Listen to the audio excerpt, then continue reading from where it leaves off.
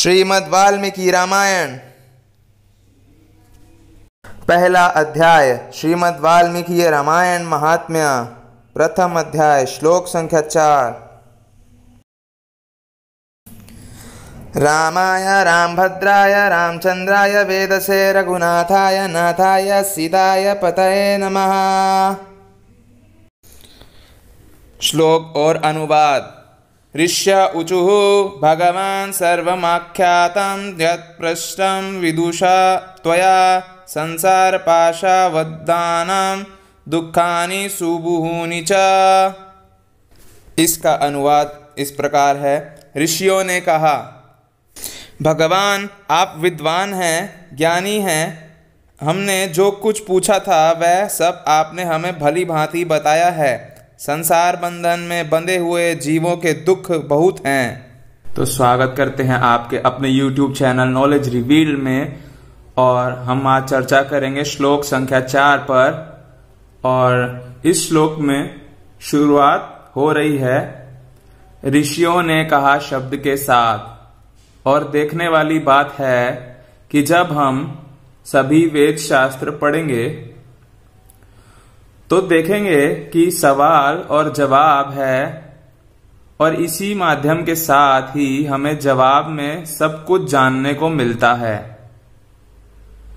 जिज्ञासा बहुत महत्वपूर्ण है। जानेंगे नहीं तो जवाब कैसे मिलेगा? कोई अपने आप तो बता नहीं देगा। और इसीलिए जिज्ञासा की है तो उसको बताया जा रहा है सूत गोस्वामी जी के द्वारा। और ये ऋषि भी कोई मूर्ख नहीं है। जब जवाब समझ में आता है तो उससे हट कर, उससे ऊपर उठकर सवाल ही वो सब पूछते हैं। मतलब कि कोई जिज्ञासा होगी, तभी सवाल पूछे जाएँगे और वो उससे रिलेटेड होना चाहिए। यह प्रसंग चल रहा है भगवान राम के बारे में और आप आगे आगे देखना कि ऋषि जो सब हैं, जो ऋषिगण हैं, वो कैसे गुणगान के शब्दों का प्रयोग कर रहे हैं। और क्या जीवन की वास्तविकता को बता रहे हैं? आप आगे श्रवण करेंगे। ये सब ऋषिगण कोई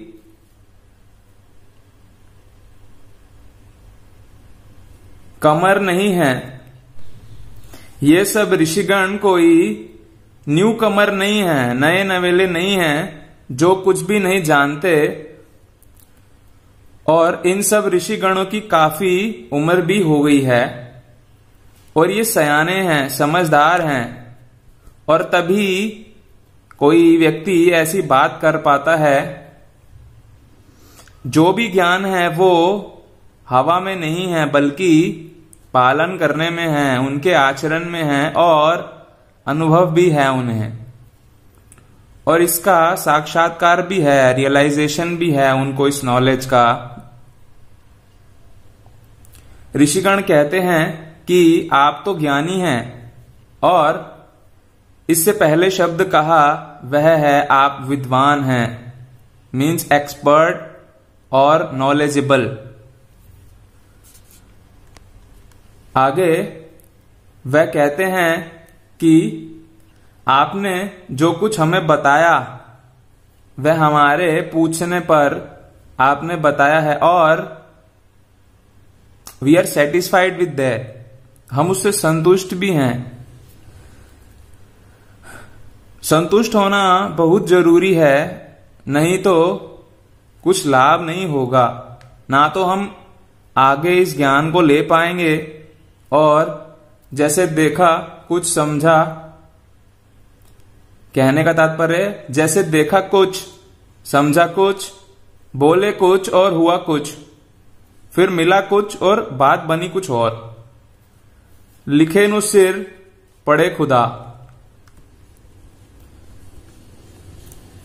आगे, जो ऋषिगण बहुत ही गहरी बात बता रहे हैं और वो बात है कि संसार में, बंधन में बंधे हुए जीवों के दुख बहुत हैं।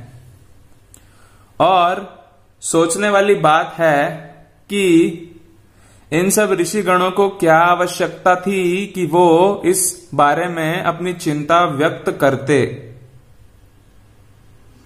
तो इसका जवाब है कि साधु संतों का असल में स्वभाव होता है कि पर दुख दुखी, दूसरों को कष्ट में देखकर दुखी होना और इसी कारण से जब भगवत गीता में भगवान अर्जुन को कहते हैं कि दुखालयम अशाश्वतम।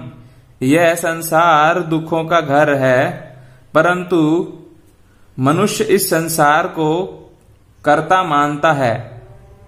और इस श्लोक में भगवान कृष्ण अर्जुन को बताते हैं कि प्रकृति क्रियमानानि गुण कर्माणि सर्वश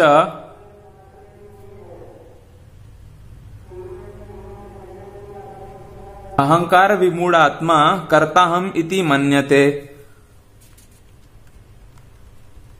अर्थात, जो असली साधु है, वह तो खुद मुक्त होता है और दूसरों को मुक्त करना चाहता है, मुक्त होते हुए देखना चाहता है और मुक्त देखना चाहता है। यही वह करता है और हमें लगता है कि वह हमें संसार में पता नहीं कौन से कामों में उलझा रहा है, परंतु बंधा हुआ मनुष्य क्या जाने, इसीलिए बेचारे उलझे रहते हैं। बहुत भाग्यवान हैं वो लोग जो मुक्त हुए हैं और दूसरों को भी करना चाहते हैं।